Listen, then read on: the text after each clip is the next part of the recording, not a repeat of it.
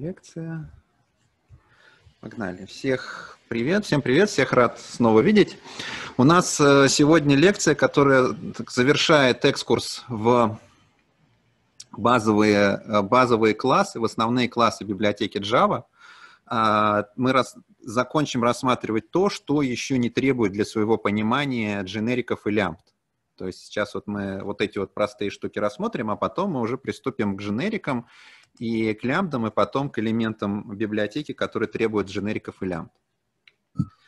А, в прошлый раз я остановился на стринге, я сказал, что вот есть у нас стринг, это строка, самый часто употребимый класс, и у него, если помните, я сказал, есть методы, на мой взгляд, полезные, которыми надо пользоваться всегда, а есть методы вредные, которыми я пользоваться не рекомендую. Потому что действительно на этом достаточно много таких антипаттернов и ошибочного кода э, мне доводилось встречать.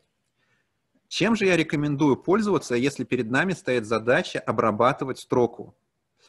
А, регулярные выражения. Напишите плюс, кто уже пользовался и знает, что такое регулярные выражения, и минус те, кто впервые сталкивается вот с этим термином. Надо было сделать... О, как много плюсиков я сразу вижу. Вот, интересно, будет ли минус какой-нибудь? Отлично. Значит, э, э, регулярки, они встроены во все языки, они встроены в Unix, э, так или иначе вы, вы ими можете пользоваться, поэтому в Java все просто, значит, пишем класс pattern compiled, класс регулярного выражения, он задается строчкой, там, к сожалению, никакого синтаксического сахара не предусмотрено, в отличие там, от языков типа Perla, где регуляр, для регулярки есть свой литерал. Но не знаю, как другие, вот IntelliJ IDEA прекрасно понимает, что здесь должна быть регулярка, и она вам подсвечивает и помогает эту регулярку правильно написать внутри. И ругается, если вы что-то сделали не так. Соответственно, мы можем взять э, строку, э, можем взять паттерн, можем, значит, при помощи паттерна создать матчер на данной строке и при помощи групп разбить вот эту вот строчку на составляющие часы, минуты там и AM, PM. Это правильный, э, правильный подход. Э, другая очень часто встречающаяся задача – это поиск замена в цикле каких-то плейсхолдеров. Она прям супер часто встречающаяся, и супер часто я видел, когда ревьюил код, когда люди пытаются свой велосипед здесь изобрести. Не надо изобретать велосипед. А, есть, а, значит, специальный механизм, а, Значит, задача вот какая. Значит, представьте себе, что есть какая-то строчка, и в ней есть вот такие вот плейсхолдеры. Например, в формате доллары фигурные скобки. Но они могут быть какими угодно. То есть формат тут неважно какой. Как раз вот эти вот плейсхолдеры мы хотим заменить на какую-то подстановку.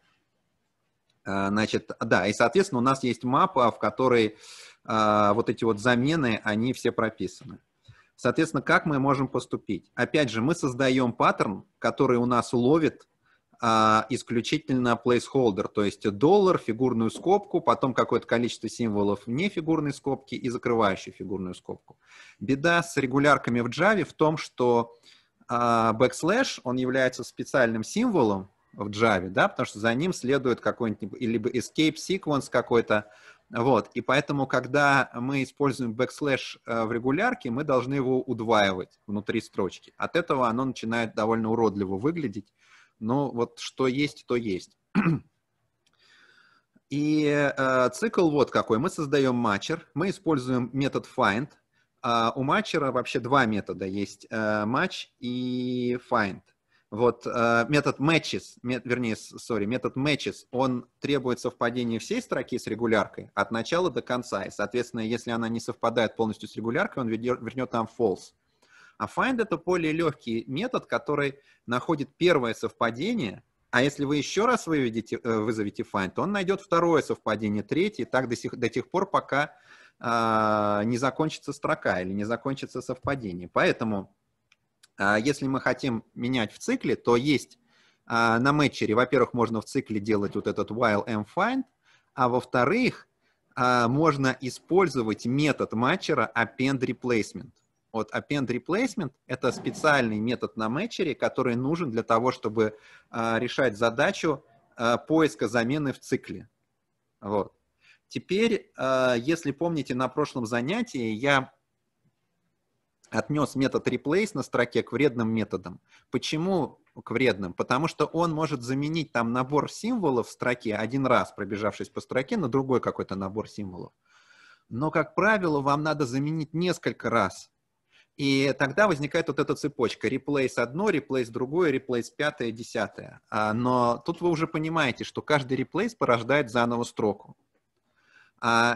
Если вы пользуетесь вот этим вот паттерном с append replacement на матчере, ну, во-первых, вы имеете сразу же, вы имеете очень мощную, э, очень мощное API, которое вам предоставляет э, регулярки, вы можете находить группы, вы можете там из-под групп чего-то вытаскивать, что вам нужно. Вот. Э, во-вторых, вы это делаете за один проход по строке, то есть вот этот вот string builder, который вы собираете, он собирается один раз, когда у вас все закончилось, вы вызываете append tail, вот эти вот штуки, append replacement и append tail, они предназначены только исключительно для использования в такого рода цикле.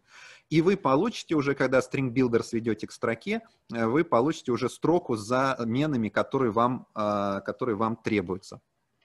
Мы работаем в 11 Java, поэтому мы используем класс string builder. Но в восьмой Java э, здесь используется еще устаревший string буфер. Но мы будем говорить про разницу между этими методами, когда будем говорить про concurrency. Сейчас используйте string builder, везде используйте string builder. Это правильный класс для того, чтобы решать ваши задачи. Значит, что с регулярными выражениями? Хорошо. А, значит, во-первых, э, мы сможем задавать, они очень продвинутые, мы можем задавать а, всякие форматы. Во-вторых, регулярки нечувствительны к незначащим символам. То есть если мы разбираем дату и, например, хотим сказать, что там между вот дата 11.45, а потом АМ или ПМ, вот перед АМ и ПМ может идти любое количество пробелов, табуляций, в общем, любое количество каких-то пробельных символов.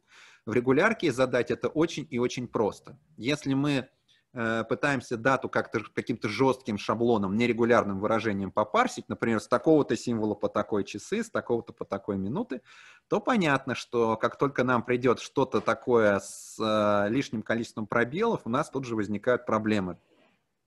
А для регулярок это э, ну, ровно то, где они хороши. Ну и есть группы, Группа – это мощнейший инструмент. Вы можете, э, значит, группами, получив строку, выдрать оттуда все, что угодно. То есть разбить на email на имя и домен, э, значит, фамилию и имя, часы и минуты и так далее, и так далее. Сумму и валюту, вот это вот все. Но за всего есть цена.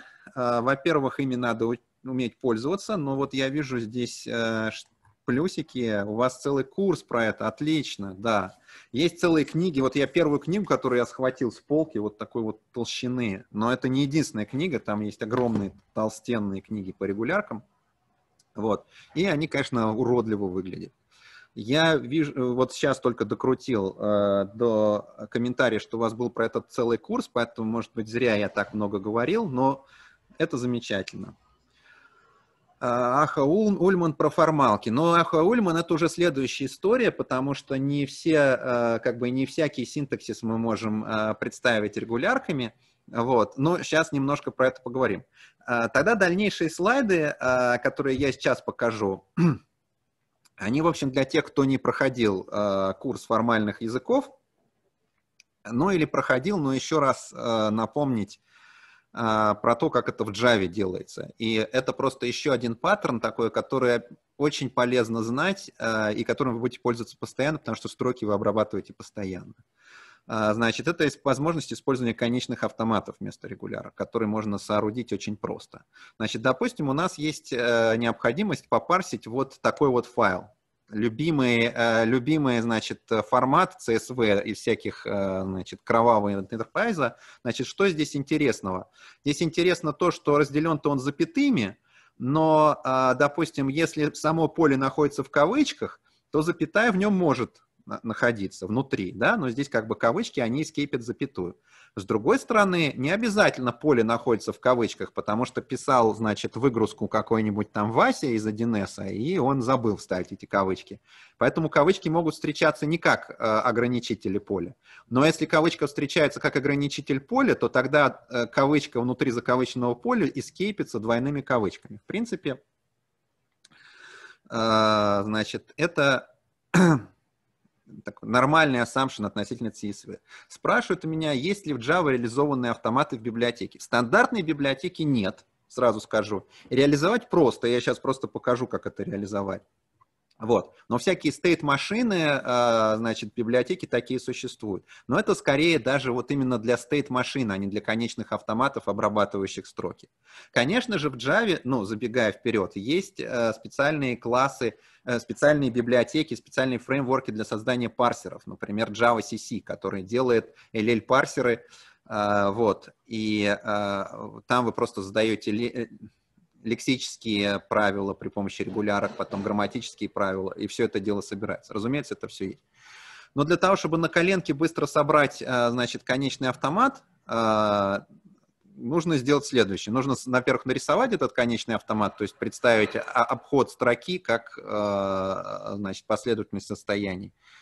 И дальше сделать это можно при помощи switch-блока и прохода по э, чарам строчки, э, разбитой на char array. То есть вся история здесь очень простая. У нас имеется некий набор стейтов, которые легко представить enum. У нас имеется строчка, которую легко представить char array. У нас имеется цикл for по вот этим вот э, по символам, и дальше в свече мы действуем, исходя из того, в каком состоянии наш автомат находится.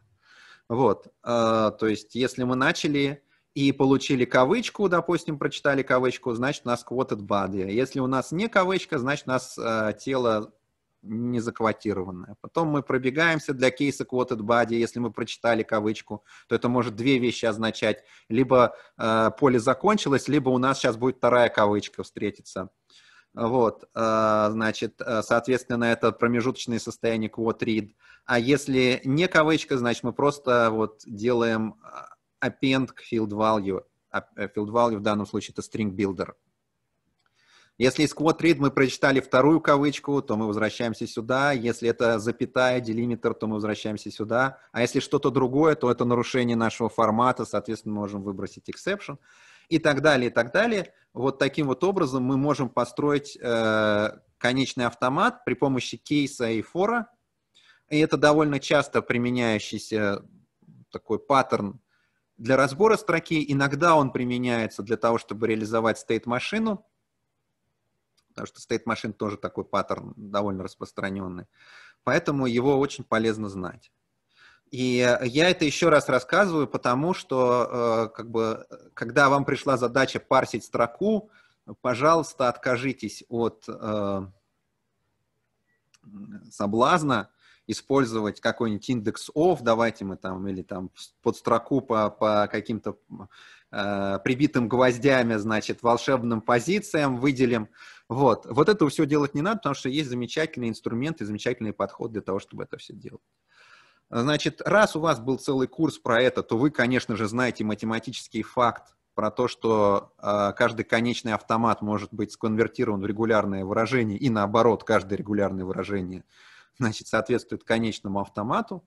Также вы знаете математический факт, что не всякий парсер можно построить на вот этом классе грамматик, да, иногда нам нужны более сложные штуки, но для этого уже э, формальные языки и системы типа Java CC.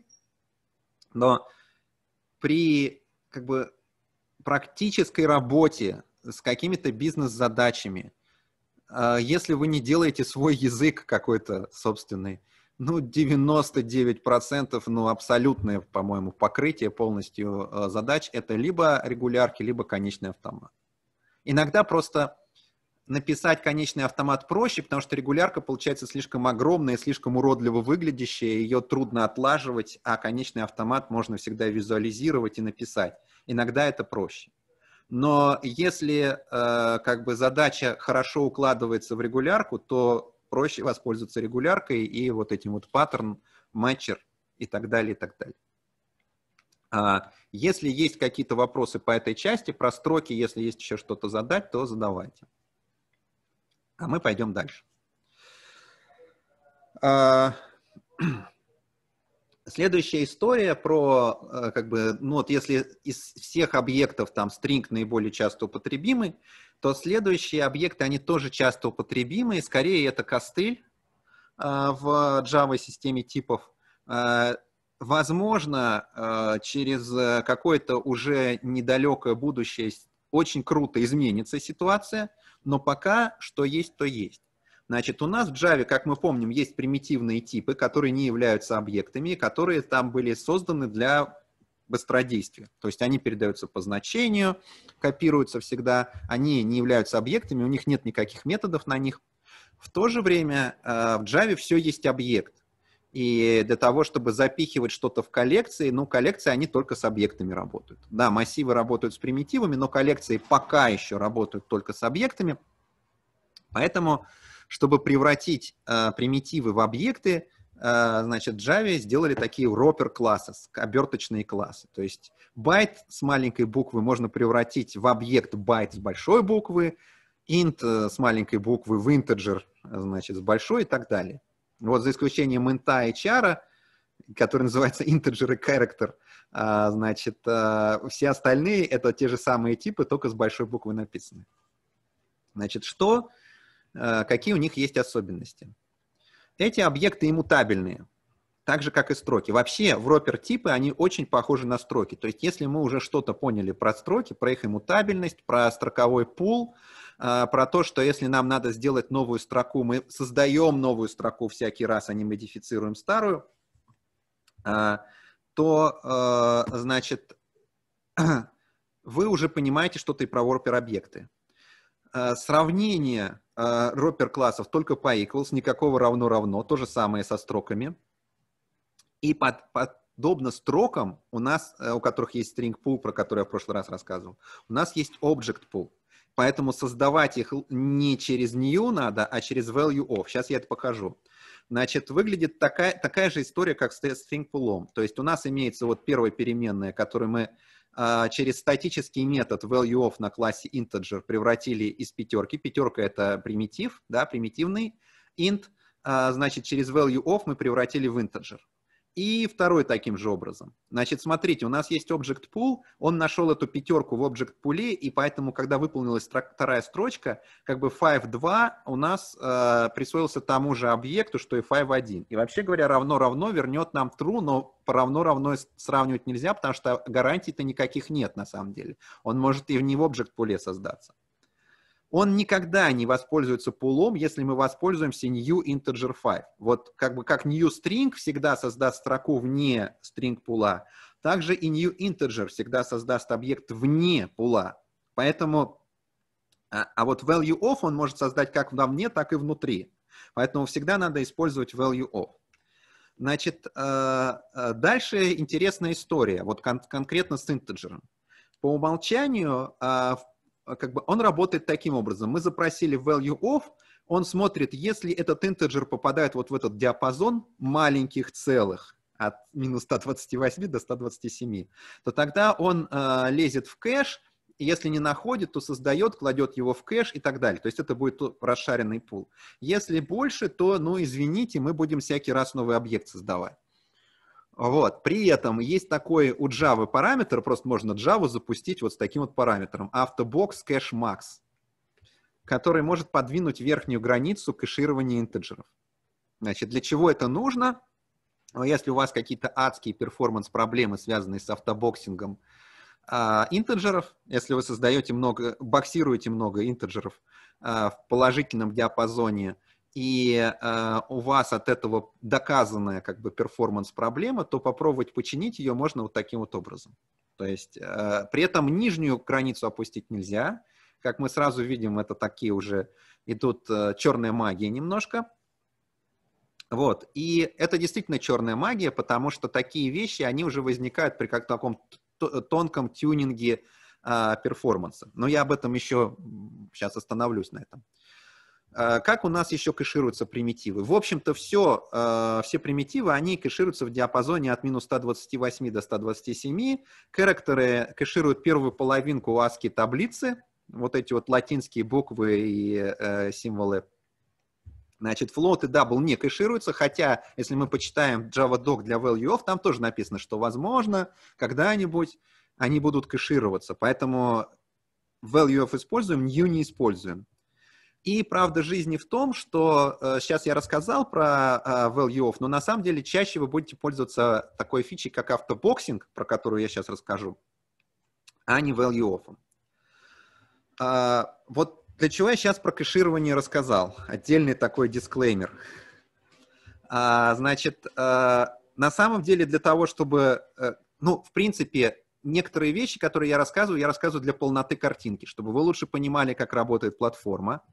А, э, на экзаменах спрашивают, на собеседованиях часто, значит, просят блеснуть эрудицией по этому поводу, поэтому вы уже как бы представляете себе.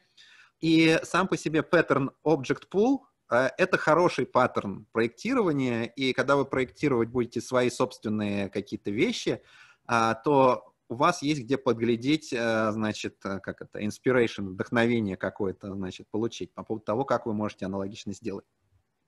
Но я вас предупреждаю от преждевременной оптимизации, потому что э, всякие э, штучки, полагаемые на, как бы, всякое полагательство на кэш, а, э, всякое предположение о том, хм, так все-таки, значит, в ропер это можно сравнивать по равно-равно.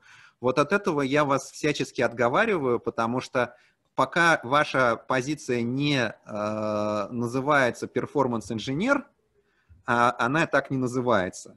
И она у вас появится там, может быть, через там, пару лет, там, через год как минимум напряженной работы с Java. Вот, вам этим всем заниматься не надо. То есть упаси вас Бог от э, преждевременного оптимизации, но здорово знать, как это устроено внутри и блистать эрудицией на экзамене. Теперь autoboxing и unboxing. Значит, э, на самом деле, сейчас я уже не вспомню даже с какой версии Java, но достаточно ранней, а, появилась вот эта вот возможность. До того, как такая возможность появилась, мы делали что? Вот у нас имеется list.add, и этот add, он принимает в себя только объект, примитив он не принимает. Соответственно, писали так, list add integer value of 3, чтобы туда положить integer большой как объект, а не как примитив. И чтобы, э, значит, достать уже целое число, мы брали из листа, значит, вот какое-то значение, которое integer – там часто еще до, до дженериков его еще к интеджеру сводили, а потом int value доставали. То все это была куча писанины, довольно неудобной.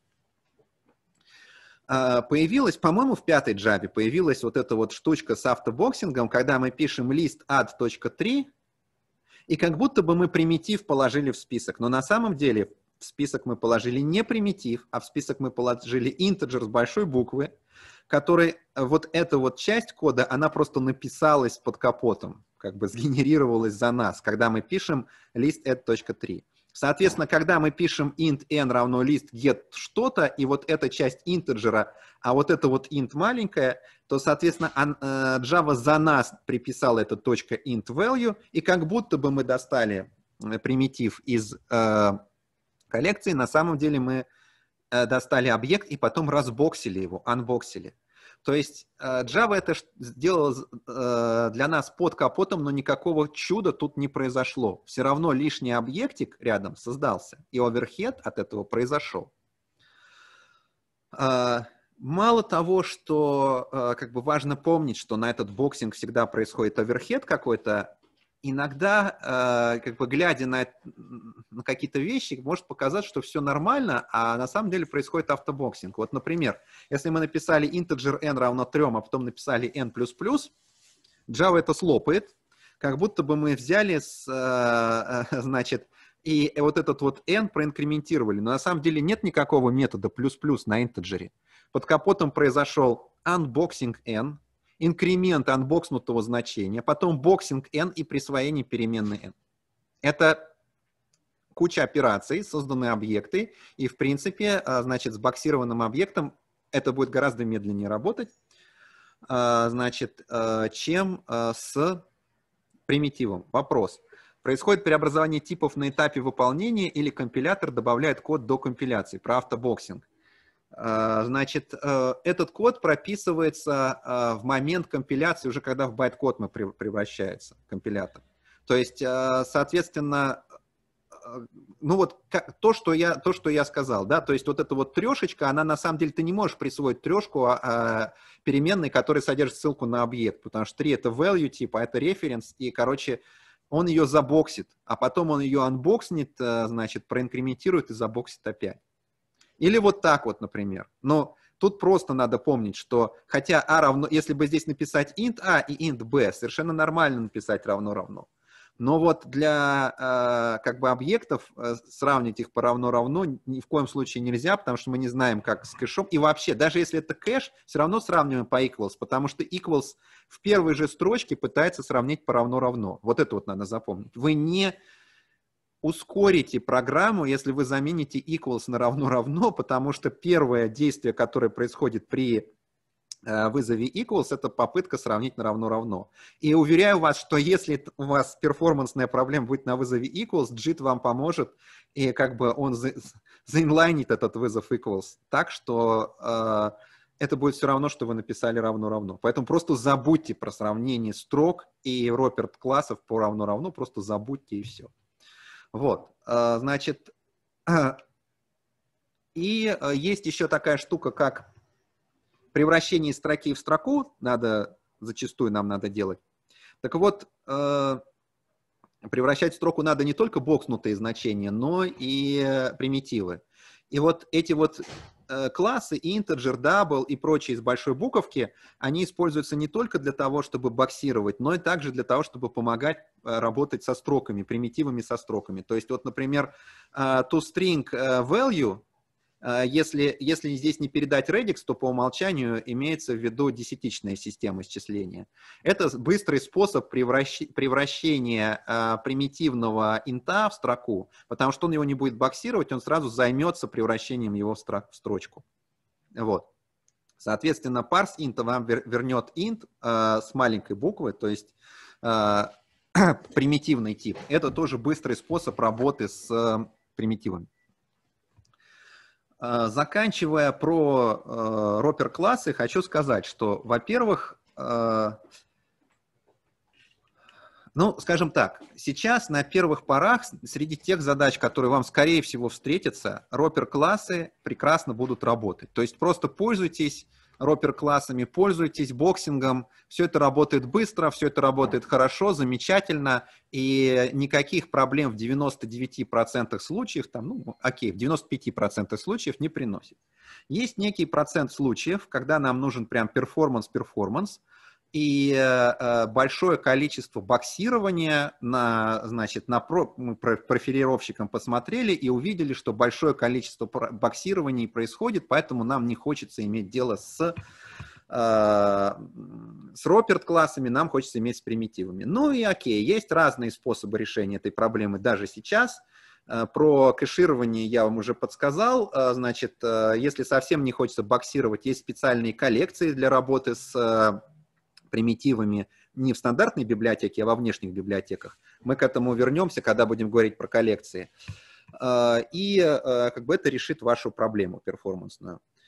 А, с другой стороны, скорее всего, через те пару лет, когда кто-то из вас начнет заниматься прям серьезной такой Java, скорее всего, ситуация изменится круто, кардинально, потому что на подходе у нас проект Valhalla, который привнесет а, в Java value типы, и тогда картинка замкнется. У нас там типа, который определяется классом, будет value проекция и reference проекция. И тогда вот эти вот integer с большой буквы это просто reference проекция value типа int, а int с маленькой буквы это будет uh, value проекция, uh, значит, типа integer с большой буквы. И вам ничего не надо будет делать, Э, код э, будет тем же самым, но работать он уже будет быстро, потому что как бы, боксинга и лишнего создания объектов происходить не будет. И мы этого все ждем в Java, это обязательно в Java появится. Уже, видимо, через какое-то обозримое время. Так, какие еще штуки, о каких еще штуках, э, значит, стоит рассказать? Big Integer и Big Decimal. Если вам нужна арифметика за пределами 64 бит, иногда она бывает нужна, то у вас имеется класс Big Integer, произвольная с арифметикой произвольной длины. Всевозможную криптографию, делает прямо замечательно, но еще какие-то штуки. А, то есть он выглядит совершенно так же, как ропер тип. Он работает по тому же принципу. Он иммутабельный. Там есть э, небольшое количество закэшированных значений э, этого big integer. А, вот. И вы можете э, пользоваться методами на нем для того, чтобы конструировать новые объекты, вот так вот добавлять, вычитать, делять, делить и умножать, чтобы получать integer. Какая, какой здесь головняк мы видим? Хотелось бы переопределить операторы, да, плюс-минус умножить и разделить, но Java не дает возможности переопределения операторов. Э, потому что э, эта штука, ну, как бы big integer довольно специфичная вещь, а если, э, ну, у дизайнеров, наверное, было такое представление, что переопределение операторов вносит хаос в программы, наверное, это правильно, поэтому операторы переопределять в Java запретили. Ну, поэтому, к сожалению, работа с Big Integer и с Big Decimal выглядит довольно уродливо. Ну, опять же, что имеем, то имеем. А, значит, э, Big Decimal — это работа с э, десятичными дробями, и она очень хороша, если мы хотим грамотно считать деньги. А, вот, потому что, как я говорил, использование дабла для подсчета денег неправильное решение, потому что вы упретесь э, в проблемы с округлением. А здесь имеется набор методов, которыми вы можете пользоваться и с помощью которых можете оперировать э, произвольной точностью десятичными дробями. А, следующий такой пласт а, классов, необходимых каждый день, это классы ввода-вывода. А, значит, здесь на этой картинке изображен терминал текстовый 65 -го года. До того, как появились мониторы, которые показывали картинку или даже хотя бы показывали текст – работа с э, операционной системой происходила через текст, который печатался на бумажке. И что любопытно, э, значит, сама концепция текстового терминала спустя десятилетия дожила до наших дней. И, э, значит, когда мы по SSH коннектимся к какому-то Linux серверу, имеем там текстовый терминал, то этот терминал практически совместим вот с таким вот печатающим устройством. И, соответственно, чтобы э, ввод-вывод, он идет, опять же, с того самого момента, с, тех самых времен, когда мы по байту или по э, символу что-то вводили, что-то выводили. Если мы посмотрим, откроем книжку Хорстмана, значит, э, по Java, откроем там секцию провод-вывод, там будет такая устрашающая картинка, где он попытался иерархию классов ввода-вывода, и она не полная, кстати, это только основные, по-моему, классы, нарисовать. А, а на следующей странице будет э, менее устрашающая, но все равно достаточно развесистая картинка, где классы для ввода-вывода текста. То есть вот эти вот для ввода-вывода бинарных файлов, а вот эти вот для ввода-вывода текста. И кажется, что, э, господи, зачем так много? А, вот, но на самом деле абсолютное большинство из них не нужно – а, но если вам что-то потребовалось специфичное, вы достаточно легко этим можете воспользоваться. Сейчас я расскажу про идеологию. Все классы ввода-вывода, а, все потоки для ввода-вывода, это называется стрим. Причем не надо путать их с теми стримами, которые мы будем изучать чуть-чуть попозже, для функционально ориентированной обработки данных. Это именно потоки ввода-вывода. Они тоже называются стримами. А, это наследники либо input стрима, либо output стрима. И э, input стрим и output стрим, они э, имплементируют интерфейс closable, про который рассказывал в прошлый раз. Это значит, что создавать их мы должны в try-with-resources блоки, чтобы они возвращали нам, э, чтобы когда мы закончили пользоваться стримом, вызвался метод close, и те ресурсы операционной системы, которые мы захватили, они бы отпустились. Также мы видим, что а, значит, input stream на своем базовом абстрактном уровне реализует а, метод read, который возвращает int, но на самом деле читает всего один байт. То есть он читает один байт и возвращает его в int. Вот. И, соответственно, в write, который тоже предназначен, как вы понимаете, для записи одного единственного байта. А, значит, и это неудобно по байтику читать. Э, поэтому, чтобы читать не по батику, а читать какими-то конструктами, более удобными для нас, мы можем воспользоваться чейнингом, э, собиранием э, потоков, комбинированием их э, в цепочку вызовов. Э, делается следующим образом. Значит, предположим, нам необх... вот в файле э, file.dat у нас лежит э, сериализованный набор э, каких-то примитивов. Записали туда сначала double, потом long и мы хотим это прочитать назад в примитивные переменные. Как это можно сделать? А, мы открываем try with resources блок. Значит, э, path, как вы понимаете, это штука, которая абстрагирует э, путь на дисковой системе. А, значит, э, запрашиваем у запрашиваем у утилитного класса files input stream к данному path, а дальше начинаем его оборачивать. Оборачиваем его в буфере input stream. Э, это нужно для того, чтобы э, значит, буферизовать чтение, не читать по байтику, а читать э, значит, какими-то кусочками, и тем самым упростить себе жизнь, не обращаться к файловой системе слишком часто. А затем, но Buffered Input Stream — это тот же самый Input Stream, он ничего нового не дает нам. У нас есть Data Input Stream, а Data Input Stream умеет читать всякие примитивы, например, .read double, .read long. Видите, что он нам возвратит? Здесь double возвратит или long возвратит. Соответственно, мы можем построить вот такую вот цепочку. Вот она так будет э, вызываться одна за другим. И э, в with resources блоке этим пользоваться. Этим мы пользуемся постоянно. Uh, не стоит беспокоиться о том, что, uh, значит, нам надо закрывать input stream, который находится в самом-самом-самой глубине, потому что, когда закроется верхний data input stream close, эта вся штука построена таким образом, что будут закрыты все подлежащие стримы. То есть он вызовет close у того стрима, который был использован при его создании. И так произойдет автоматом. А, другой вариант. Нам надо прочитать zip-архив.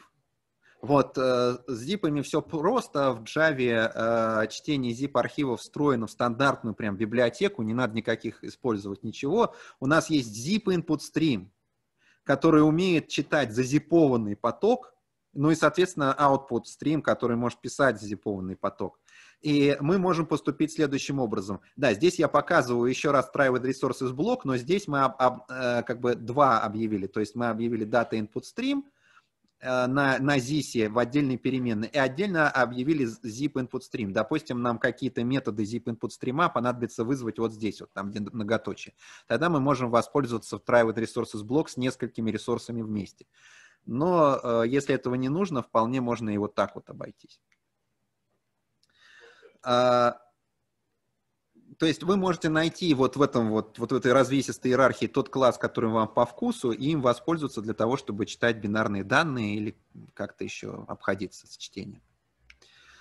Отдельной строкой всегда идет, э, отдельным пунктом всегда идет чтение текстовых данных и работа с текстовыми данными, потому что, скорее всего, файлики, которые вы будете писать и читать, это текстовые файлики.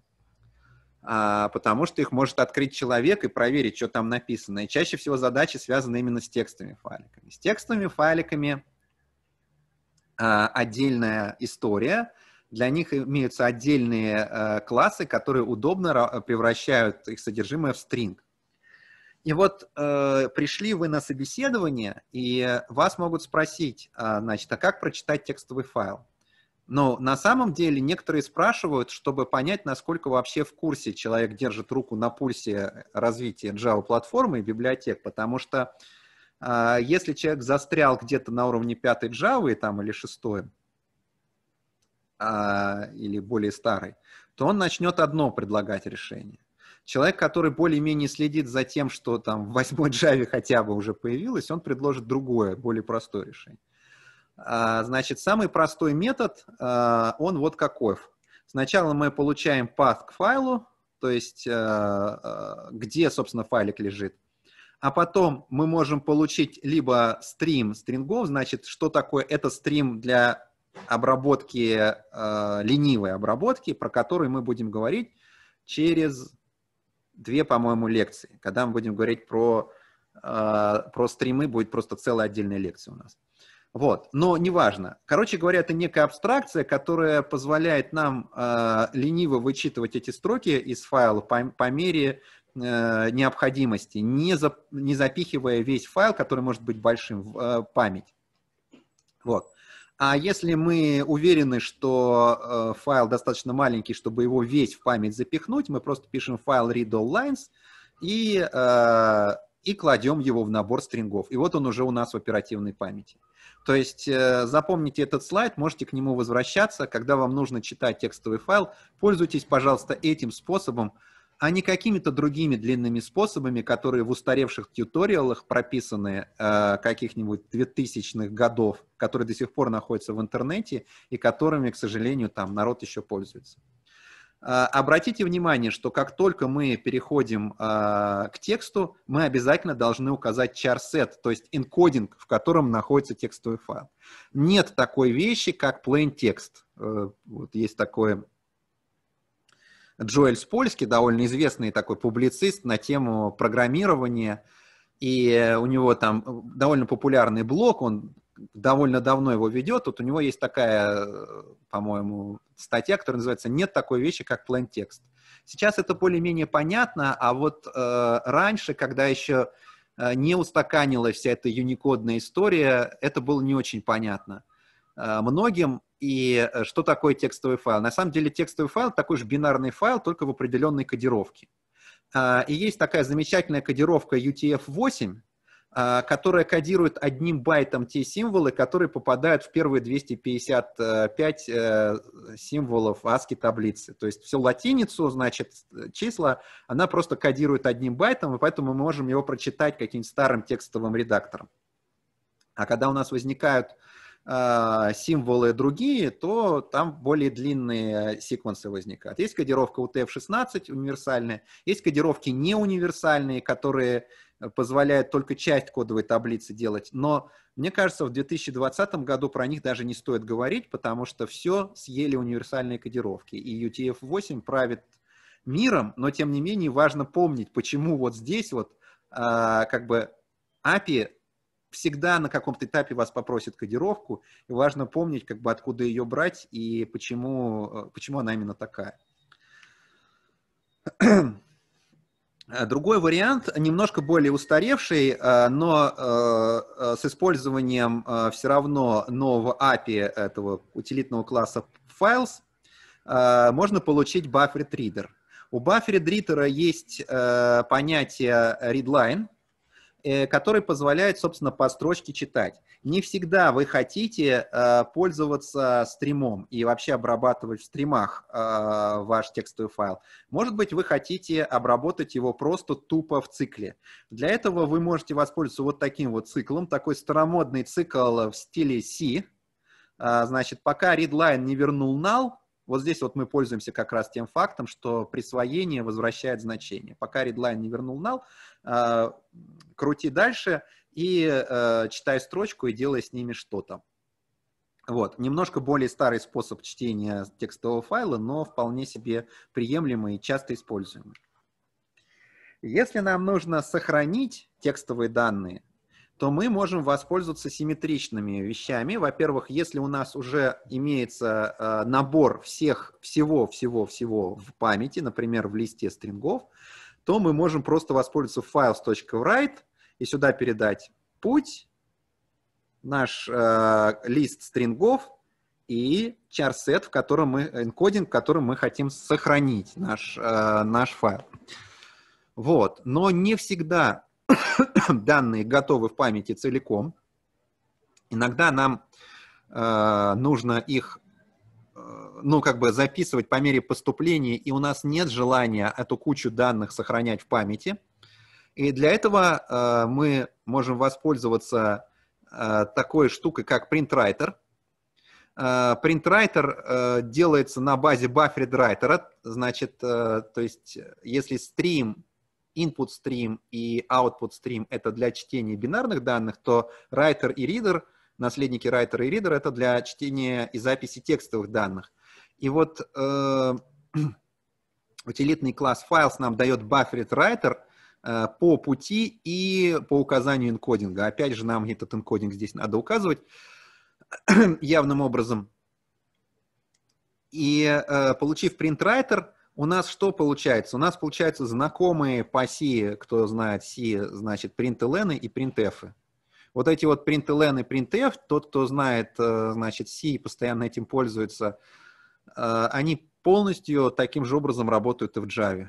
То есть вы можете писать строчки форматированные, вы можете, э, значит, просто вставлять какую-то строку в файл, и он будет записываться. Когда мы выйдем из try блока, закроется принтрайтер, закроются все подлежащие под ним э, потоки, и файл э, сохранится на диске в этот самый момент. Э, наверное, говоря про э, чарсеты, стоит вас предупредить еще вот о чем. Я не уверен, э, Buffett имеет такой перегруженный вариант, но старые API имели перегруженные варианты работы, когда явно чарсет не запрашивался. И э, в этом случае предполагалось, что мы работаем с чарсетом специфичным для системы. И вот эта история, работа с чарсетом специфичным для системы, она явилась э, причиной такого количества продакшн-багов в истории как бы, Java-платформы, э, что, наверное, стоит всем начинающим джавистам говорить, указывайте чарсет явно. Ну, потому что вы что-то протестировали на вашей машине, на которой стоит винда русская, а потом вы поставили это на Linux какой-нибудь американский, и э, ваше представление о том, в какими форматами чего вы работаете, оно поменяется, и как бы программа не заработает. Вот, э, поэтому чарсет и все штуки, связанные с локалью, как бы лучше прописывать э, явным образом. Э, работа с файловой системой это, собственно, с файлами.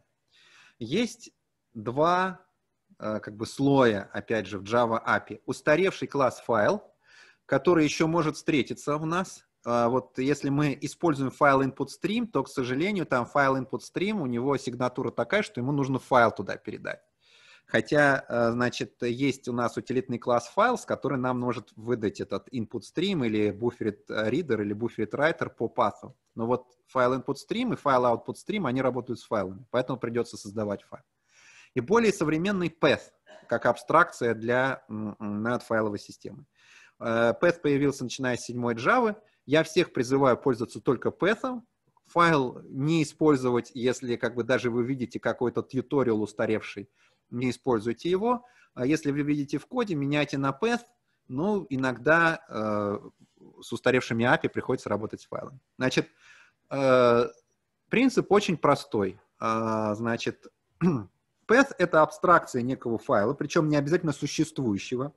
Это просто представление о том, неком месте в файловой системе. И собрать его мы можем следующим образом. Через path.get get выводит принимает в себя произвольное количество аргументов, а, и мы можем здесь писать разделитель, а можем, а, значит, просто через запятую их говорить, тогда он соберет их через разделитель. Кстати, в Java вы можете использовать прямой слэш, а, вот, не знаю, как правильно показать. Короче, прямой слэш в качестве разделителя файлов, и на винде Java разберется с тем, что вы на самом деле имели в виду сепаратор. Вот. Э, соответственно, могут быть relative и э, path, это понятно, то есть если идет от корня, то он абсолютный, если он не от корня идет, то он relative от э, текущей папки. Вот, и мы можем, соответственно, по, этой, по этому дереву ходить через path. Если нам надо создать что-то, вообще как-то поработать с файловой системой, существует утилитный класс файл, в котором куча-куча э, статик методов. Ну, например, создать директорию, э, значит, создать пустой файл, э, создать временный файл, например. В этом случае э, файл создается во временной директории, которая специфична для вашей операционной системы. Вы можете э, проверять э, наличие э, файлов и возможность чтения этого файла. И, в общем-то, это имеет смысл делать перед тем, как открывать поток на чтение. То есть хорошо, когда вы пишете прям программу, утилиту, и вам там нужно открыть, прочитать, хорошо бы проверить вообще, существует ли путь, по которому мы сейчас собираемся читать, можем ли мы читать его, а потом уже читать. Потому что если не существует или не может, то мы можем, не дожидаясь эксепшена, и обработки эксепшена мы можем вывести пользователю какое-то сообщение осмысленное о том, что ты пытаешься прочитать файл, которого нет, которого не существует. Также мы можем размер э, файла узнать.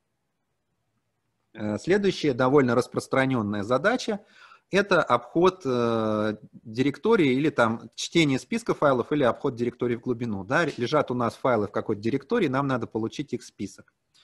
Опять же, э, есть старые методы, но э, более новые, которые вот начиная с 8 Java, когда у нас появились стримы, он вот какой. Э, мы указываем path, пишем files.list, и мы получаем стрим этих пэthов. Стрим — это ленивая как бы коллекция, в которой не держит полностью себя в памяти, а перебирает их одного за другим по мере обработки. Точно так же мы можем устроить э, обход в глубину, э, значит, для пата. Только здесь вот волк, по-моему, на файлах у меня надо исправить этот слайд. В общем, есть метод волк, который нам позволит э, обходить директорию в глубину и просматривать те файлы и директории, которые нам нужны. Копирование, перемещение, удаление файлов также очень просто делается через усилительный класс files. В общем, все делается через класс files и через пасы, которые у нас есть. На этом у меня все, что касается э, ввода-вывода через и взаимодействия с файловой системой. А, если есть какие-то вопросы по этой части, то а, имеет смысл их задать. Если нет, то продолжаем. А, следующая и последняя, значит, финальная э, секция того, что я хотел сегодня рассказать, это классы для работы со временем. И у меня вот вопрос, вот он здесь вот, сколько секунд в сутках? А дайте, пожалуйста, ответ в Telegram. А мы пока полюбуемся картиной Сальвадора Дали «Persistence of Memory», которая звучит прям как название какой-то спецификации технической и э, здорово отражает вообще всю боль работы с э, э, значит, 86 400.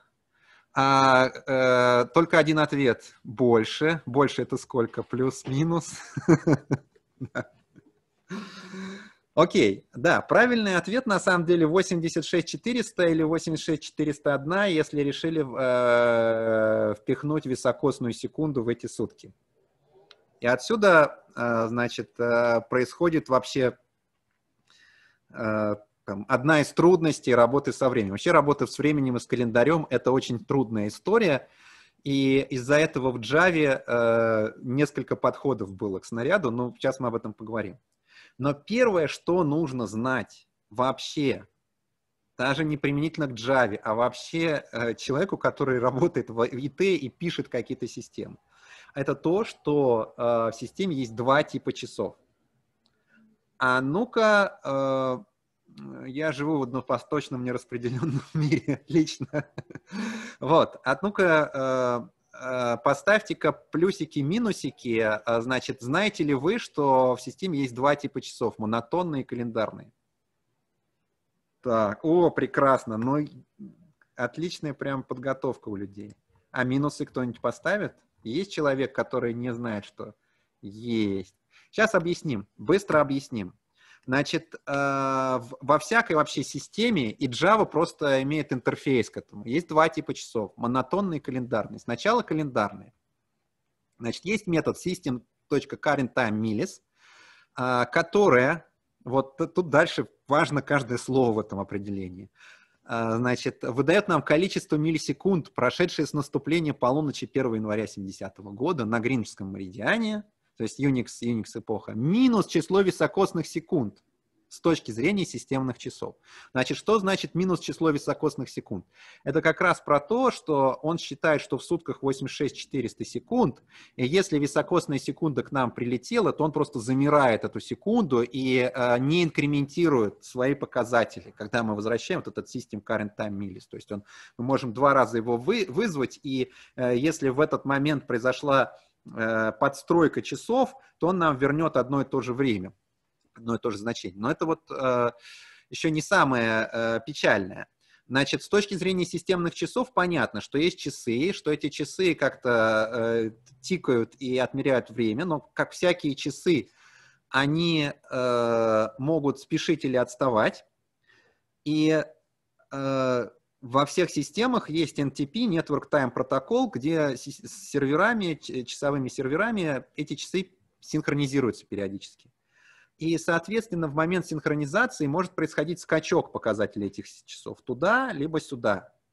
Поэтому, если мы вызвали current time millis один раз, потом current time millis другой раз, э, наивно и ошибочно предполагать, что второй вызов вернет значение большее первому вызову. Это может быть значение равное, может быть значение меньшее, вот. или может быть значение сильно большее. Наивно предполагать, что если мы вызвали current time millis один раз, вызвали current time millis второй раз и замерили разницу между этими вызовами, то она будет соответствовать а, времени, которое прошло между двумя вызовами. Ну, в большинстве случаев примерно так оно и будет. Но а если мы достаточно долго будем э, эту программу запускать, то мы увидим отрицательные значения, как бы время поверну, повернутое вспять. И как бы это важно понимать.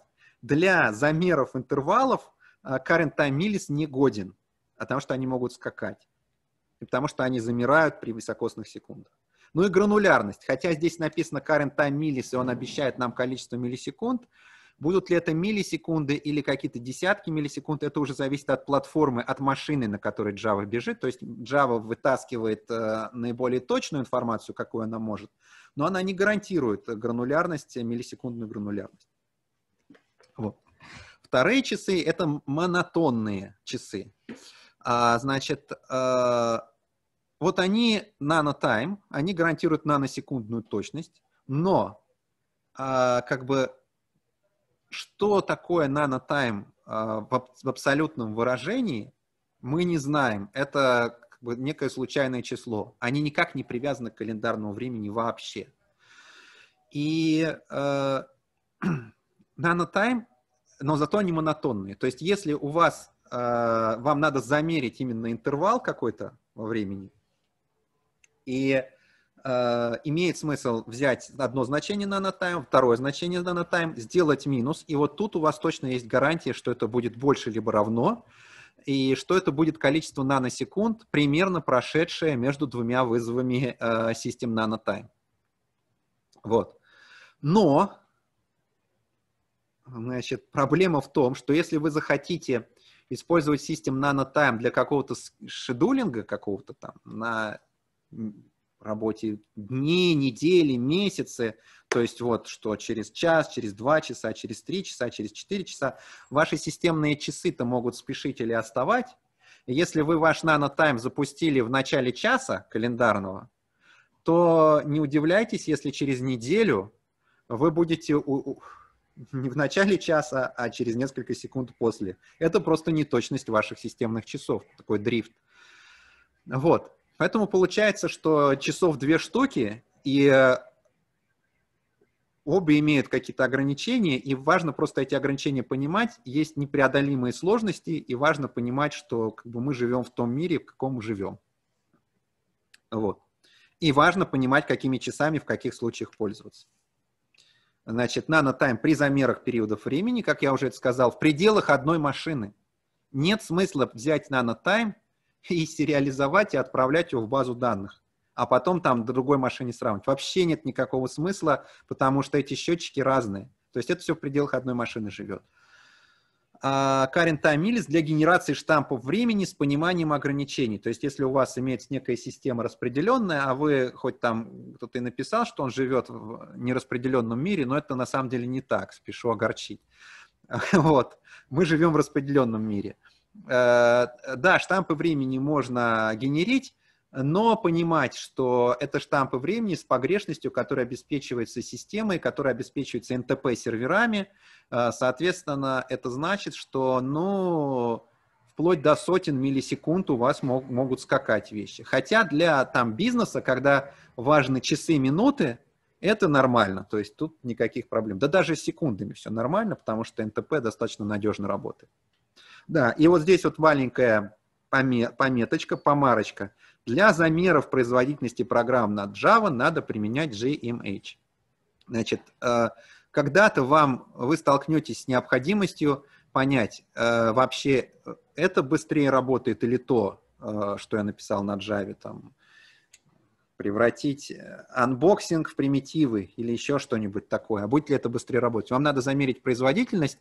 И вот для совсем грубых вещей можно, конечно, использовать nanoTime, но если вам надо померить под получше или маленькие э, промежуточные вещи, то есть такой фреймворк JMH, он довольно прост, он похож на JUnit, вы пишете только не тест, а собачка benchmark сверху, и вы можете сделать так называемые микробенчмарки, которые вам точно с погрешностями, прям с многими запусками, с, с учетом много-много-много чего, особенностей джита, значит, вам покажут чистое правильное решение – а, работает ваша оптимизация или не работает.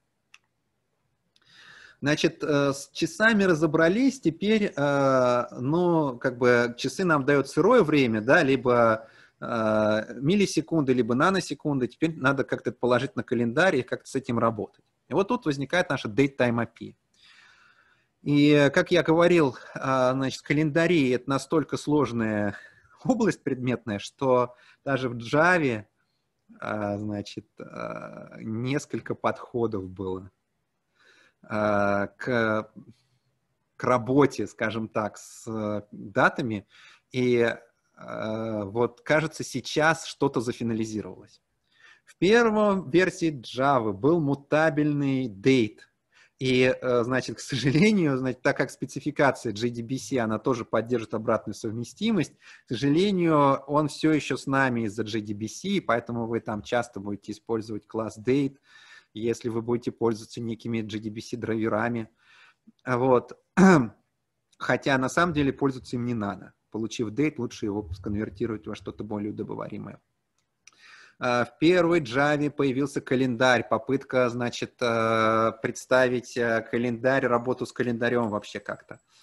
И э, есть такой date формат, это, как вы понимаете, для работы в строчку и, и запихивания в строку и выпихивания из строки чего-то. Вот.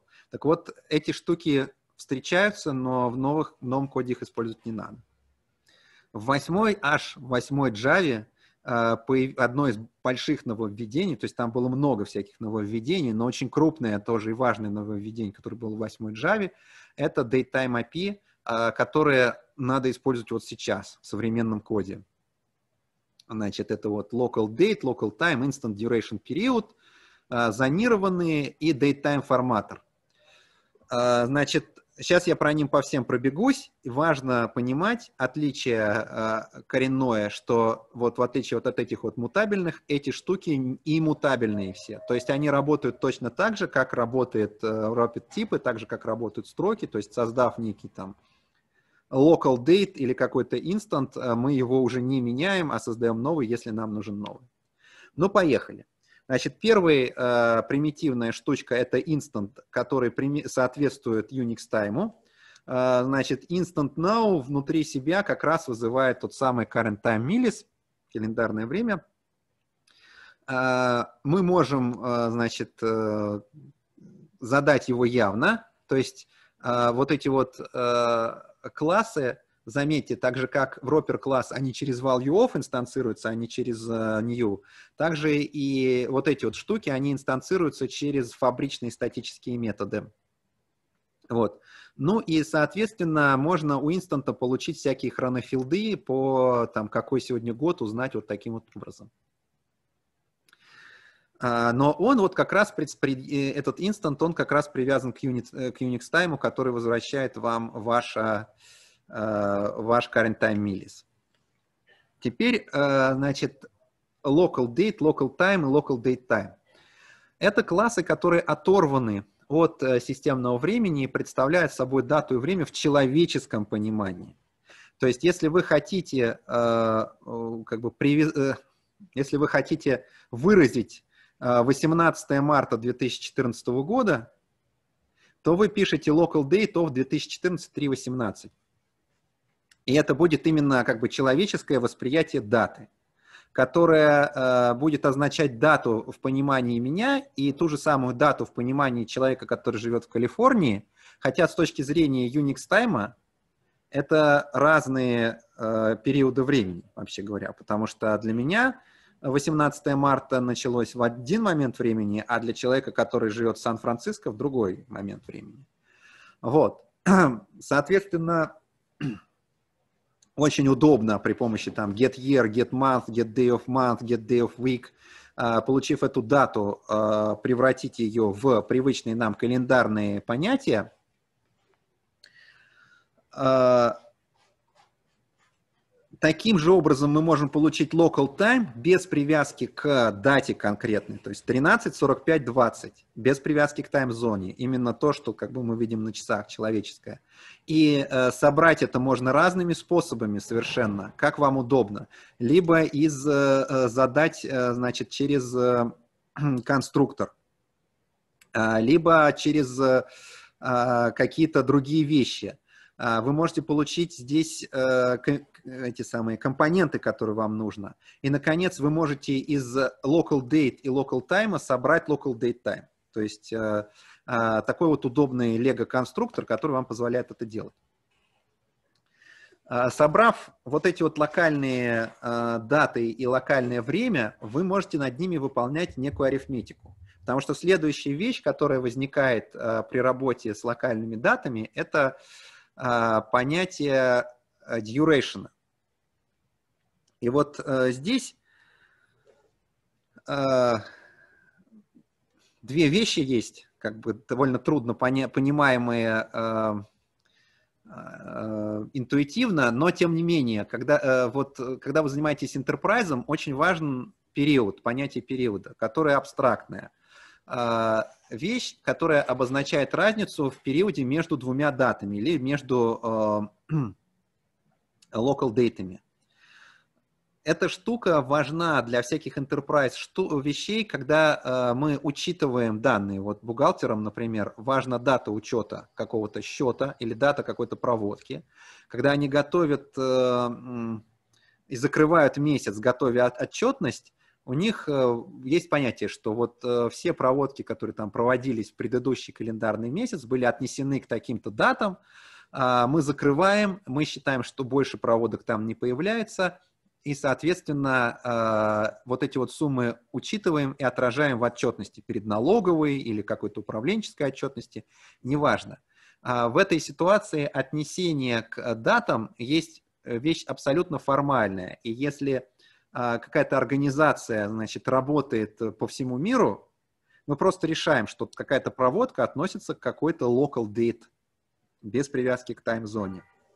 И э, сделать uh, duration между двумя, uh, значит, датами, вернее, период между двумя датами мы можем вот таким вот образом задать, если либо мы можем сделать difference. Там есть методы для difference, чтобы определить э, период. А duration — это уже штука между инстантами, и duration задаются э, часто, если нам надо задавать периоды для э, какого-то скедулинга или для подсчета. Так, есть ли вопросы? Нет, это другой чат идет. Э, имея э, возможность значит, имея возможность работать с такой арифметикой, опять же, у нас не переопределены арифметические операторы, но у нас есть методы, мы можем выполнять арифметику. То есть мы, если мы задали какой-то инстант и какой-то duration, то мы можем сделать, например, что? Мы можем взять duration 3 секунды multiplied by 10, то есть в 10 раз увеличить этот duration, значит, прибавить duration к инстанту, получить новый инстант, а, значит, а потом вычесть а, какой-нибудь 2,9. Вот. Примерно такую же вещь можно сделать с local date time. Где здесь происходит зонирование и переход к, к времени, сейчас скажу значит, ближе к концу. Для того, чтобы работать с датой и временем э, в человекочитаемом формате, есть замечательный класс, который называется DateTime Formatter. И он тоже иммутабельный, как вы догадываетесь, и он тоже кэшированный, потому что есть некоторые закэшированные значения, прямо из local date вы можете воспользоваться, и у вас готовый объект datetime форматора, который э, представляет вам вот э, дату в таком вот виде. Э, но вы можете собрать свой форматор по своему вкусу, э, либо путем, э, значит, задания текстового паттерна, все это прописано в э, Java доке, либо при помощи э, builder а, Builder — это очень мощная штука, э, где вы можете прям вот все-все-все-все-все задать а, и собрать свой datetime formatter в соответствии с самыми неожиданными пожеланиями относительно того, как вы дату и время хотите видеть. И а, вот пример того, как строчка, как э, local date может превратиться в строчку. А, значит, э, либо путем Э, путем подпихивания форматора, либо как строчка, вот э, строка, может превратиться в local date э, при помощи localdate.parse и подпихиванием тут, в метод parse от localdate datetime форматора. То есть это работает в обе стороны. То есть здесь вы формат задаете либо строчкой, либо вот таким вот вызовом методов, но тем самым вы задаете как бы способ и чтения, и записи строки одновременно. Этим datetime форматор очень хорош, очень удобен. И, наконец, часовые пояса. Каким образом, собственно говоря, нам привязывать наш local date к часовому поясу? У нас есть понятие зоны, которое задается через метод off, и вот здесь вот такой стандартизованный идентификатор зоны. Сама Java, она в себе содержит справочник этот, этих зон. Кстати, этот справочник обновляется, он приходит вместе с обновлениями Java. Одна из причин, кстати, апгрейдить Java постоянно, потому что там постоянно обновляется справочник TimeZone. Как мы понимаем, таймзоны задают э, э, не разработчики, а политики. Сегодня мы часовые пояса сюда покрутим, завтра мы часовые пояса сюда покрутим. Сейчас будет летнее время а завтра не будет летнего времени. Поэтому эта вся дышащая информация, она постоянно меняется, она приходит с обновлениями Java. А, и, соответственно, мы можем превратить local date time в zone date time путем а, добавления информации о зоне к, значит, к local date time. И, соответственно, имея уже зонированное время, мы можем... Зонированное время — это локальное время плюс какая-то зона. Соответственно, мы можем делать что? Мы можем говорить, что тот же инстант, но э, значит, другая зона и переместиться из Москвы, допустим, в Европу. И он поменяет нам зонированное время. А, либо можно просто добавить зону, но к тому же самому тайм, как бы к тому же самому времени на часах. Понятно, что это будет семантически другая штука. Вот. Довольно э, развесистая вещь, довольно развесистая клюква, но важно ее помнить. Это то, что касается классов работы с э, датой и временем, о чем я хотел бы рассказать. На этом у меня вся теоретическая часть. Э, если есть какие-то вопросы, у нас есть даже... Мы сегодня чуть-чуть пораньше успели, чтобы обсудить их. По теме этой лекции или как, какие-то другие.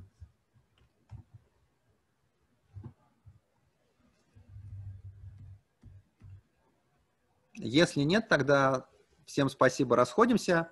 А, я понимаю, что немножко занудно получилось с этими дейт-таймами и с а, стримами, которые читают файлы, но э, это надо было пройти, больше занудства такого не будет. У нас следующая лекция уже посвящена дженерикам, а там есть довольно мозголомные штуки. Потом пойдут стримы, и все это будет уже гораздо-гораздо моднее и современнее. Вот. Ну ладно, спасибо за внимание тогда. Э, вопросы по Телеграм присылайте. Пока.